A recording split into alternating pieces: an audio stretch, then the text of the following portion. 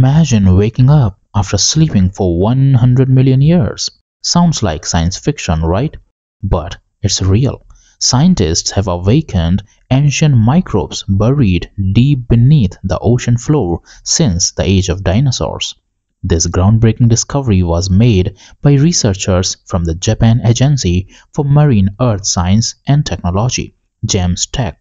The microbes were found nearly 6,000 meters below the Pacific Ocean in the layers of sediment that date back to the Cretaceous period.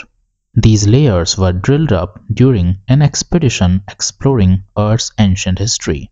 For decades, scientists believed microbes trapped in such conditions would eventually die due to the lack of nutrients and oxygen. But these microbes defied all odds. In the lab, the researchers carefully added oxygen and nutrients, creating a perfect revival environment. To their amazement, the microbes woke up started feeding and even began dividing.